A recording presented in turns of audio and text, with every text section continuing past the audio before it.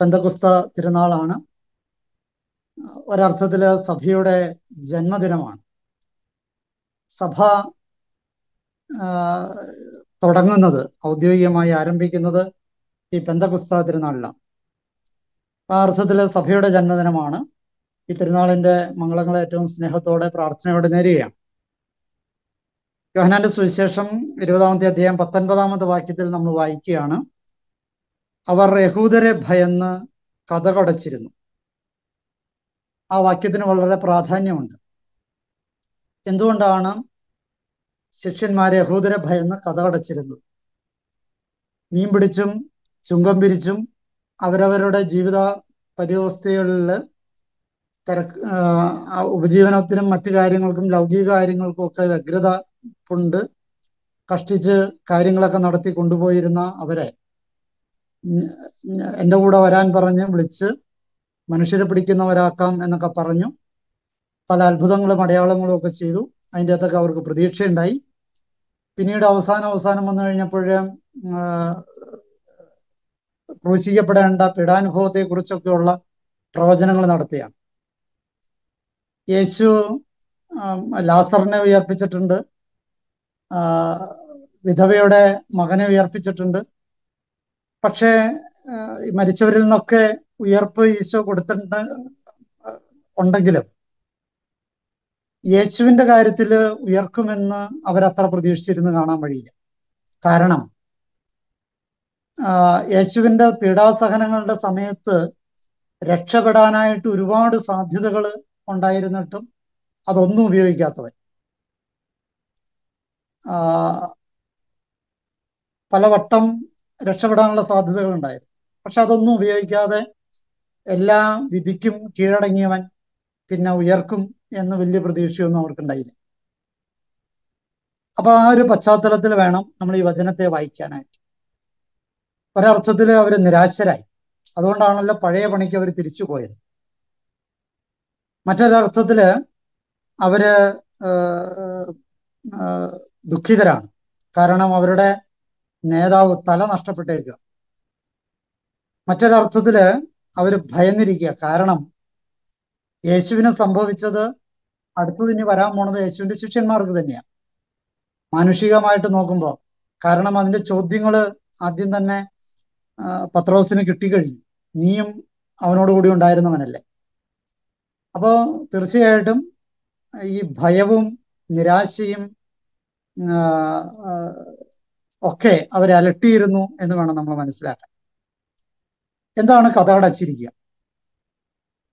പ്രാർത്ഥനയുടെ കാര്യത്തിൽ പറയുമ്പോൾ ഈശോ പറയുന്നുണ്ട് നീ കഥകടച്ച് പ്രാർത്ഥിക്കാനായിട്ട് പറയുന്നു. മറ്റുള്ളവർ കാണാതെ. എന്താണ് കഥകടയ്ക്കുക എന്നാൽ ബൈബിളിന്റെ ഭാഷ കഥകളെ അടയ്ക്കുക എന്ന് വെച്ചാൽ ഇന്ദ്രിയങ്ങളെ കൊട്ടുക എന്ന് തന്നെയാണ് അർത്ഥം. ഇന്ദ്രിയങ്ങളെ അടയ്ക്കുക എന്നാണ് അർത്ഥം.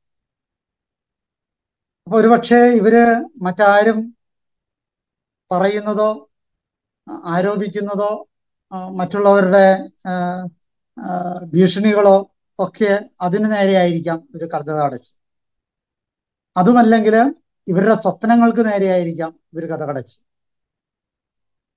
അതുമല്ലെങ്കിൽ പ്രായോഗികമായിട്ട് പേടിച്ചിട്ട് മുറിയിൽ കയറി കഥ കടച്ചായി കഥ കടപ്പിന് ഒരുപാട് അർത്ഥങ്ങളുണ്ട്. ഈ കഥകടയ്ക്കലുകളൊക്കെ നമ്മൾ ധ്യാനിക്കേണ്ടതാണ്. ചില സമയത്ത് നമ്മൾ കഥകളെ അടയ്ക്കേണ്ടതുണ്ട്. കുഞ്ഞുദാഹരണത്തിന് പ്രാർത്ഥനയുടെ സമയത്ത് നമ്മുടെ വികാരങ്ങളുടെ കഥകളെ വിചാരങ്ങളുടെ കഥകളെ ഒക്കെ അടയ്ക്കണം.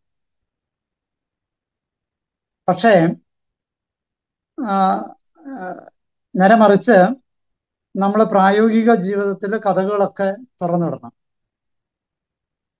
രണ്ടാം വത്തിക്കാൻ കൗൺസിൽ ആരംഭിച്ച ഇരുപത്തിമൂന്നാമൻ ജോൺ ഇരുപത്തിമൂന്നാമൻ മാർപ്പാപ്പ പറഞ്ഞത് വത്തിക്കാന്റെ ഇരുളടഞ്ഞ വാതിലുകളെ ഞാൻ തുറന്നിടുകയാണ്. ഇതിന്റെ അകത്തുള്ള പൊടിയും അഴുക്കും പുറത്തേക്ക് പോകട്ടെ. പുറത്തുള്ള നന്മകളുടെ ഈ പ്രകാശങ്ങൾ ഇതിന്റെ അകത്തേക്ക് പ്രവേശിക്കട്ടെ. അപ്പൊ കഥകൾ തുറക്കുക വലിയൊരു ധ്യാന വിഷയമാണ് ഈ കഥ കടച്ചിരുന്നവരുടെ അടുത്തേക്കാണ് ഈശോ വരിക. നമ്മുടെ ജീവിതത്തിലെ കഥകൾ അടച്ച് ഇരിക്കുന്ന അവസ്ഥയെ ഒന്ന് ചിന്തിക്കേണ്ടതുണ്ട്. വീടിനൊക്കെ സ്ഥാനം കാണാൻ പോകുന്നത് കൊണ്ട് പഴയ കാലത്തെയും ഈ കാലത്തെയും നമ്മളൊന്ന് വിലയിരുത്തുന്നത് നല്ലതാണ്. പണ്ടത്തെ കാലത്ത് അവനവന്റെ മുറികളിൽ വാസം വളരെ കുറവാണ്. പഴയ കാലങ്ങളിലെ വരാന്തകളും അടുക്കളപ്പുറങ്ങളും ഒക്കെയാണ് മനുഷ്യന്റെ ഈ സോഷ്യലൈസേഷന്റെ ഭാഗങ്ങൾ. അവനാരും ബെഡ്റൂമിലേക്ക് പോകുന്നത് ഉറങ്ങാൻ വേണ്ടി മാത്രം. ഇന്നങ്ങനെയല്ല. ബെഡ്റൂമിലാണ് തീറ്റയും തൂറലും ടി വിയും മൊബൈലും എല്ലാം. അപ്പൊ ഈ കഥകടക്കൽ സംസ്കാരം മാറിയിട്ടുണ്ട്. അതുകൊണ്ട് ഈ കഥകടയ്ക്കലിനെ കുറിച്ച് ചിന്തിക്കേണ്ടതാണ് ചുരുക്കി പറഞ്ഞാൽ ഒരു ഒരു കൗമാരപ്രായത്തിൽ ആയ കുട്ടികൾ കഥകടയ്ക്കൽ കൂടുതലാണ് ആ കഥകടയ്ക്കലിൽ കൂടുതലാണ് എപ്പോഴാണ് അവർ കഥകടയ്ക്കൽ കൂടുന്നത് എന്നൊക്കെ കാരണവന്മാർ തിരിച്ചറിയാനുള്ള വെളിവും വെള്ളിയാഴ്ചയും ഉണ്ടായില്ലെങ്കിൽ അത് പരുന്തുകാലെ പോകും അപ്പൊ ഈ കഥകടച്ചിരിക്കൽ വളരെ ധ്യാനിക്കേണ്ട ഒരു വിഷയം. ആ കഥകടച്ചിരിക്കുന്നവരോടുള്ള ഇടപെടൽ ശ്രദ്ധിക്കേണ്ട കാര്യമാണ്. ഇവിടെ ഈശോ ഈ കഥകടച്ചിരുന്നവരോട് എങ്ങനെ ഇടപെട്ടത്? അവരോട് പറഞ്ഞത് നിങ്ങൾക്ക് സമാധാനമെന്ന്. രണ്ട് പ്രാവശ്യം ആവർത്തിച്ച് പറയാം. നിങ്ങൾക്ക് സമാധാനം. അവരുടെ സ്വസ്ഥത നഷ്ടപ്പെട്ടത് കൊണ്ടാണ് കഥ അടച്ചത് ഏതൊരുത്തൻ കഥ കടയ്ക്കുന്നുണ്ടോ അവിടെയൊക്കെ സമാധാനം നഷ്ടപ്പെട്ടിട്ട് തന്നെയാണ് കഥ കടയ്ക്കുന്നത് എന്ന തിരിച്ചറിവും പരിഗണനയും പരിലാളനയും ഒക്കെ നമ്മൾ കൊടുക്കേണ്ടതുണ്ട്. പത്തൊൻപതും ഇരുപത്തൊന്നും വാക്യങ്ങളിൽ ക്രിസ്തു ആവർത്തിച്ച് പറയാണ് നിങ്ങൾക്ക് സമാധാനം. അവർക്ക് സമാധാനം നഷ്ടപ്പെട്ടിട്ടുണ്ട് അതുകൊണ്ടാണ് കഥ അടച്ചത്. കഥ കടച്ച മനുഷ്യർക്കൊക്കെ നേരെ സമാധാനം പറയാനായിട്ടുള്ള ഒരു ആഹ്വാനമാണ് ഈ തിരുനാൾ നമുക്ക് തരുന്ന ഒരു പ്രധാനപ്പെട്ട സന്ദേശം. അതിനു മുമ്പ് ഞാൻ സൂചിപ്പിച്ചതുപോലെ നമ്മുടെ കഥകടയ്ക്കലുകളെ നമ്മൾ ധ്യാനിക്കേണ്ടതുണ്ട്. കഥകടയ്ക്കേണ്ട സമയത്ത് അടയ്ക്കാനും അടയ്ക്കാൻ പാടില്ലാത്ത സമയത്ത് തുറന്നിടാനും ഒക്കെയുള്ള മനസ്സ് നമ്മൾ ഉപയോഗപ്പെടുത്തിയെടുക്കേണ്ടതുണ്ട്. അപ്പൊ നിങ്ങൾക്ക് സമാധാനം എന്ന് ആശംസിച്ച ക്രിസ്തു ഈ സമാധാനം നമുക്ക് തരുന്നുണ്ട്. ആ സമാധാനം തന്നെയാണ് നമ്മൾ കൊടുക്കേണ്ടത്. ഇരുപത്തിയൊന്നാമത്തെ വാക്യത്തിൽ പറയുകയാണ് പിതാവ് എന്നെ അയച്ചതുപോലെ ഞാനും നിങ്ങളെ അയക്കും. കഥകടച്ച് ഇരുന്നവരെ അയച്ചവനാണ് ക്രിസ്തു. കഥകടച്ചിരിക്കുന്നവർക്ക് അതിന്റെ ഉള്ളിലിരിക്കാനുള്ള സപ്പോർട്ട് കൊടുക്കുന്നവനല്ല ക്രിസ്തു. കഥ അടച്ചിരിക്കുന്നവർക്ക് അവിടെ കൊണ്ടുപോയി തീറ്റ കൊടുക്കുക. കഥ അടച്ചിരിക്കുന്നവർക്ക് നീ സ്വസ്ഥമായിട്ട് കിടന്ന് ഉറങ്ങിക്കോ വിളിച്ച് ഞാൻ എഴുന്നേൽപ്പിച്ചോളാം എന്ന് പറഞ്ഞ് വിളിച്ചെഴുന്നേൽപ്പിക്കാനായിട്ട് ഒരു അലാറം കണക്ക് കാരണവന്മാര് മാറുക. അപ്പൊ അതല്ല. കഥ കടച്ചിരുന്നവനെ പുറത്തേക്ക് അയക്കുക എന്നുള്ളത് ഞാൻ പണ്ട് നിങ്ങളോട് സൂചിപ്പിച്ചിട്ടുള്ളതാണ് യോഹനാൻ ശിഷ്യൻ. യോഹനാന്റെ ചരിത്രം നമ്മൾ പഠിക്കുമ്പോൾ അമ്മയ്ക്ക് പ്രിയപ്പെട്ടവനായിരുന്നു. പക്ഷെ യോഹനാനെ അമ്മ വളർത്തിയത് അമ്മയ്ക്ക് വേണ്ടിയിട്ടാണ്. യോഹനാനെ പുറത്തൊരു കാര്യത്തിനും വിടില്ലായിരുന്നു. യോഹനാനെ പൊതുജനമായിട്ട് ഒരു ബന്ധം ഉണ്ടായില്ല. യോഹന്നാന ആയ ഒരു ബന്ധം ഉണ്ടായിരുന്നത് യേശുവായിട്ടാണ് അതുകൊണ്ടാണ് ഒരു പെണ്ണ് കണക്ക് വക്ഷസിൽ ചാരിക്കിടക്കാനും അത്ര അറ്റാച്ച്മെന്റും ഒക്കെ ആയിട്ട് ഈ യോഹന്നാനെ അമ്മ വളർത്തിയത്. പക്ഷെ യേശുവിനെ വളർത്തിയത് അങ്ങനെയല്ല. യേശുവിനെ വളർത്തിയത് പൊതുജനത്തിന് സമൂഹത്തിന് ഉതകുന്ന വിധത്തിലാണ് അപ്പൊ നമ്മുടെ മക്കളെ വളർത്തുന്നത് സമൂഹത്തിന് വേണ്ടിയിട്ടാണോ നമുക്ക് വേണ്ടിയിട്ടാണ്.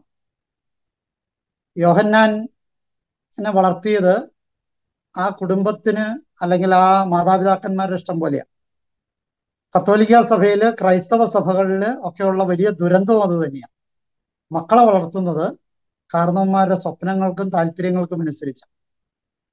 ഞാൻ നേരത്തെ നിങ്ങളോട് സൂചിപ്പിച്ചിട്ടുണ്ട് ഒരു പ്രത്യേക മതവിഭാഗത്തിൽപ്പെട്ടവര് ഒരിക്കൽ പോലും കാരണവന്മാരുടെ സ്വപ്നങ്ങളോ താല്പര്യങ്ങളോ അടിച്ചേൽപ്പിക്കില്ല. മക്കളുടെ താല്പര്യം അനുസരിച്ച് അവന് പഠിക്കാൻ താല്പര്യമില്ല. വേണ്ട. നിനക്ക് നിന്റെ ഉദ്ദേശം എന്നാ കച്ചവടമാണോ? എന്നാ നീ കച്ചവടത്തിന് പൊക്കോ? അല്ല കൃഷിയാണോ? കൃഷിക്ക് പൊക്കോ?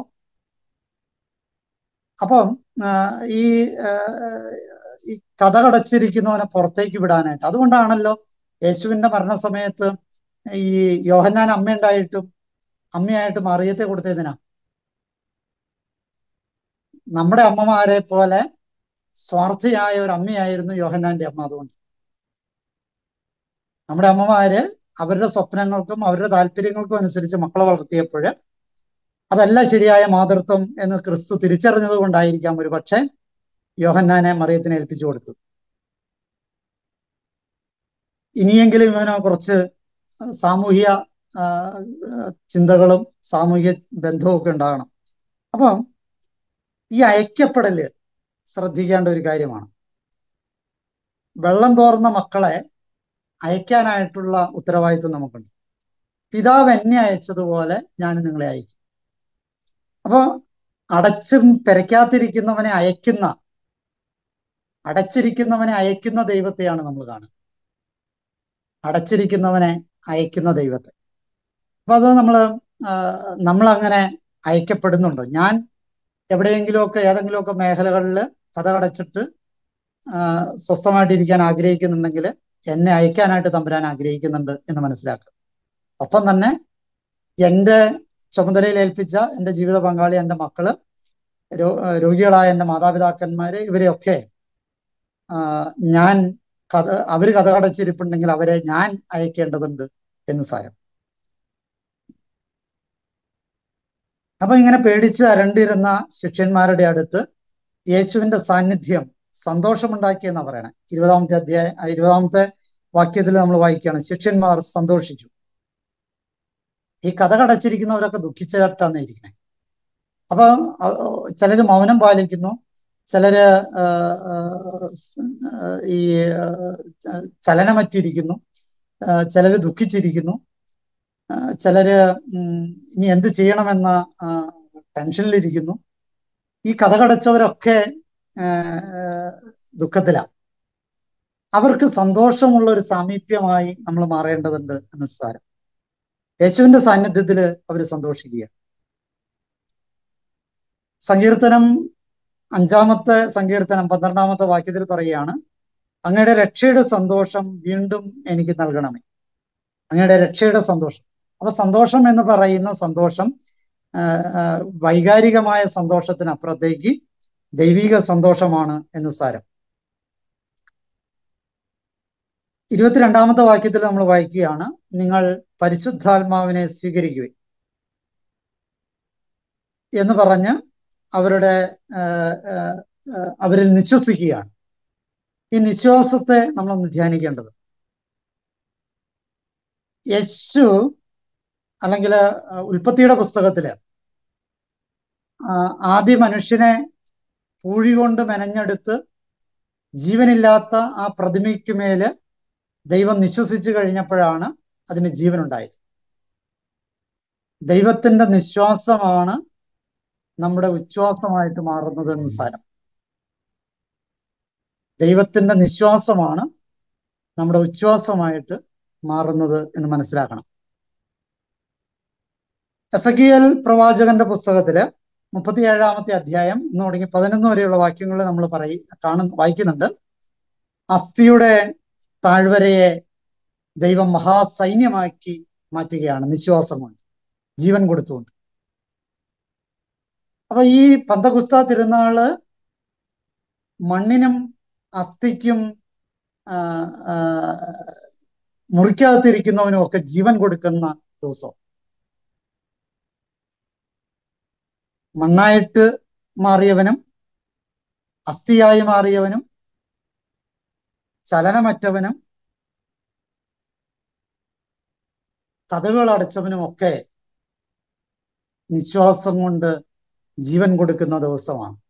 ഈ അവസ്ഥകളിൽ നിന്നൊക്കെ കർത്താവിന്റെ നിശ്വാസങ്ങളെ ഉച്ഛ്വാസങ്ങളായി സ്വീകരിച്ചുകൊണ്ട് നമ്മൾ ഉണർന്നെഴുന്നേൽക്കേണ്ടതുണ്ട് എന്ന് സാരം. ഇന്നത്തെ ലേഖനത്തിൽ ഒരു കാര്യം പറയുന്നുണ്ട്. നടപടി പുസ്തകത്തിലെ രണ്ടാമത്തെ അധ്യായം എട്ടും പതിനൊന്നും വാക്യങ്ങളിൽ ആവർത്തിച്ച് പറയുകയാണ്. നമ്മുടെ മാതൃഭാഷകളിൽ നമ്മൾ അവരെ കേൾക്കുന്നുണ്ടല്ലോ എന്ന്. നമ്മുടെ മാതൃഭാഷകളിൽ അവർ സംസാരിക്കുന്നു എന്ന്. പ്രിയമുള്ളവരെ ഇത് വലിയൊരു വെല്ലുവിളിയാണ് നമ്മുടെ. ഈ പന്തകുസ്ത തിരുനാളിൽ നമ്മുടെ ഭാഷ ഒന്ന് ധ്യാനിക്കപ്പെടേണ്ടതാണ്. നമുക്കറിയാം ബാബേൽ ഗോപുരം തകർന്നത് എന്തുകൊണ്ടാണ് ഭാഷ ഭിന്നമായതുകൊണ്ട്. അവർ സംസാരിക്കുന്ന ഭാഷകൾ അവർക്ക് മനസ്സിലാകുന്നില്ല. കേൾക്കുന്നവന് ഭാഷ മനസ്സിലാകുന്നില്ല. ഈ ബാബേൽ ഗോപുരത്തിന്റെ അവസ്ഥയാണ് നമ്മുടെ കുടുംബങ്ങളിലും നമ്മുടെ ഇടവകയിലും നമ്മുടെ സഭയിലും നമ്മുടെ സംഘടനകളിലും ഒക്കെ ഉള്ളത്. ഒരാൾ പറയുന്ന ഭാഷ മറ്റേയാൾക്ക് മനസ്സിലാകുന്നില്ല. ഭർത്താവ് പറയുന്ന ഭാഷ ഭാര്യയ്ക്ക് മനസ്സിലാകുന്നില്ല. ഭാര്യയുടെ ഭാഷ ഭർത്താവിന് മനസ്സിലാകണില്ല മക്കളുടെ ഭാഷ മാതാപിതാക്കന്മാർക്ക് മനസ്സിലാവണില്ല മാതാപിതാക്കളുടെ ഭാഷ മക്കൾക്ക് മനസ്സിലാവണില്ല ലീഡറിന്റെ ഭാഷ അണികൾക്ക് മനസ്സിലാകുന്നില്ല. അണികളുടെ ഭാഷ ലീഡർക്കും മനസ്സിലാവുന്നില്ല. വികാരി അച്ഛന്റെ ഭാഷ കൈക്കാരന്മാർക്ക് മനസ്സിലാവുന്നില്ല. കൈക്കാരന്റെ ഭാഷ കൗൺസിൽ അംഗങ്ങൾക്ക് മനസ്സിലാവുന്നില്ല. കൗൺസിലിന്റെ ഭാഷ ഇടവക്കാർക്ക് മനസ്സിലാവണില്ല കുടുംബ യൂണിറ്റ് ഭാരവാഹികളുടെ ഭാഷ യൂണിറ്റ് അംഗങ്ങൾക്ക് മനസ്സിലാവണില്ല യൂണിറ്റ് അംഗങ്ങളുടെ ഭാഷ യൂണിറ്റ് ഭാരവാഹികൾക്ക് മനസ്സിലാവണം ഈ ഭാഷ മനസ്സിലാക്കാത്ത വലിയൊരു ദുരന്തത്തിൽ നമ്മളായിരിക്കുമ്പോൾ ഈ ഭാഷാവരത്തിന് വേണ്ടി നമ്മൾ പ്രാർത്ഥിക്കണം. അത് ആർക്കും മനസ്സിലാവാത്ത ഭാ ഒച്ചയുടെ ഭാഷയല്ല നേരെ മറിച്ച് എല്ലാവർക്കും മനസ്സിലാകുന്ന ഭാഷാവരത്തിനാണ് പ്രാർത്ഥിക്കേണ്ടത്. പൊതുവെ കരിസ്മാറ്റിക് നവീകരണ പ്രസ്ഥാനങ്ങളുമായിട്ട് ബന്ധപ്പെട്ട ഒരു ഭാഷാവരത്തിന് വേണ്ടി പ്രാർത്ഥിക്കാറുണ്ട്. നല്ലതാണ്. ഞാൻ അതിന് എതിരൊന്നുമല്ല. പക്ഷെ എനിക്ക് തോന്നുക കുറച്ചുകൂടി അർത്ഥവത്തായിട്ടുള്ള കാര്യം ഈ ഭാഷാവരത്തിന് വേണ്ടി നമ്മൾ പ്രാർത്ഥിക്കുമ്പോൾ ആർക്കും മനസ്സിലാവാത്ത ഭാഷ സംസാരിക്കാനായിട്ടുള്ള കൃപയ്ക്ക് വേണ്ടിയിട്ടല്ല പ്രാർത്ഥിക്കേണ്ടത്. മറിച്ച് എന്റെ ഭാഷ മറ്റുള്ളവർക്ക് മനസ്സിലാകണം. അവന്റെ ഭാഷ എനിക്ക് മനസ്സിലാകണം. അങ്ങനെ ഭാഷയെ മനസ്സിലാക്കാവുന്ന ഭാഷ സംസാരിക്കാനും സംസാരിക്കുന്നവരുടെ ഭാഷ എനിക്ക് മനസ്സിലാക്കാനും സാധിക്കുന്നിടത്താണ് പരിശുദ്ധാത്മാവുള്ളത്. ഈ അപ്പസ്തോലന്മാരുടെ ഭാഷ എന്തുകൊണ്ടാണ് അവരവര് അവരവരുടെ ഭാഷയിൽ മാതൃഭാഷയിൽ ഈ മാതൃത്വം എന്ന് പറയുന്നത് കിനിയുന്ന കനിവിന്റെ സ്നേഹത്തിന്റെ പേരാ. ആ മാതൃഭാഷയിൽ സംസാരിച്ചു എന്ന് പറയുമ്പോൾ അമ്മ പറയുന്നത് പോലെ പറഞ്ഞു എന്ന് തന്നെ മനസ്സിലാക്കേണ്ടത്. അപ്പൊ ഈ മാതൃഭാഷയിൽ സംസാരിക്കാനായിട്ട് പറ്റും. ഈ മാതൃഭാഷയിൽ നമുക്ക് നമ്മുടെ നമ്മളുമായിട്ട് ബന്ധപ്പെടുന്നവര്. അപ്പൊ പരിശുദ്ധാത്മാവിന്റെ ഭാഷാവരത്തിന് ഞാൻ പ്രാമുഖ്യം കൊടുക്കുന്നു. ഞാൻ പ്രാമുഖ്യം കൊടുക്കുന്നത് ഈ ഭാഷാവരം എന്നതുകൊണ്ട് ആർക്കും മനസ്സിലാവാത്ത ഭാഷ സംസാരിക്കുന്നത് അത് അവനവന് കൊള്ളാം. കുഴപ്പമില്ല നല്ല കാര്യം. അത് ദൈവവും അവനും തമ്മിലുള്ള ഭാഷയാണ്. ഓക്കെ ആയിക്കോട്ടെ നല്ലത്. പക്ഷേ അതുകൊണ്ട് സമൂഹത്തിന് എന്താ നേട്ടം? സഭയ്ക്ക് എന്താ നേട്ടം? ദൈവത്തിന് എന്താ നേട്ടം? അപ്പോ മനസ്സിലാകുന്ന ഭാഷ സംസാരിക്കാനും മറ്റുള്ളവരുടെ ഭാഷയെ മനസ്സിലാക്കാനും സാധിക്കുന്ന ഒരു ഭാഷാപരമാണ് നമുക്കുണ്ടാകേണ്ടത് കൂടുതലായിട്ട് ഉണ്ടാകേണ്ടത് അപ്പൊ ഈ ഭാഷയിലേക്ക് നമ്മളെ ഒന്ന് പറിച്ച് നടപ്പെടേണ്ടതുണ്ട്. ഈ പെന്തപുസ്ത തിരുനാളിൽ നമ്മൾ ഈ മനസ്സിലാക്കാവുന്ന ഭാഷ സംസാരിക്കാനും മറ്റു മറ്റുള്ളവരുടെ ഭാഷയെ മനസ്സിലാക്കാനുള്ള കൃപയ്ക്കുമൊക്കെ വേണ്ടി പ്രാർത്ഥിക്കേണ്ടത് ഒരു നിമിഷം നമുക്ക് പ്രാർത്ഥിക്കാം. കാരണവനായ കർത്താവെ തിരുസന്നിധിയിൽ ഞങ്ങൾ എല്ലാവരെയും സമർപ്പിച്ച് പ്രാർത്ഥിക്കുന്നു. ഒരു വിധത്തിൽ അല്ലെങ്കിൽ മറ്റൊരു വിധത്തിൽ ജീവിതത്തിന്റെ പല പ്രശ്നസന്ധികളിൽ ഞങ്ങൾ എവിടെയൊക്കെയോ കഥകൾ അടയ്ക്കുന്നുണ്ട്. ഞങ്ങൾ എവിടെയൊക്കെയോ കഥകൾ അടച്ച് ഭയപ്പെടുകയോ ഞങ്ങൾ ഒറ്റപ്പെടുകയോ ഞങ്ങൾ നിരാശപ്പെടുകയോ ദുഃഖിതരാവുകയോ പ്രത്യാശ നഷ്ടപ്പെടുകയോ വിശ്വാസം കുറയുകയോ ഒക്കെ ചെയ്തിട്ടുണ്ട്. എല്ലാ കഥകളുടെ അട അടവുകൾക്കും മീതെ നിന്റെ ആത്മാവിനെ അയക്കണമേ എന്ന് പ്രാർത്ഥിക്കുന്നു.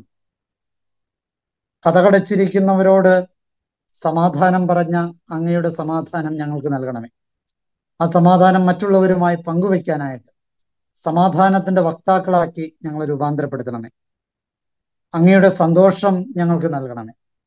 യഥാർത്ഥമായ സന്തോഷം ഞങ്ങൾക്ക് നൽകുമ്പോൾ ഞങ്ങൾക്കത് മതി ഞങ്ങൾക്കത് മതി. അങ്ങയുടെ പരിശുദ്ധാത്മാവിനെ സ്വീകരിക്കാനായിട്ട് അങ്ങയുടെ നിശ്വാസത്തിൽ നിന്ന് ഞങ്ങളുടെ ഉച്ഛ്വാസങ്ങളെ വളർത്തിയെടുക്കാനായിട്ടുള്ള കൃപ നൽകണമേ.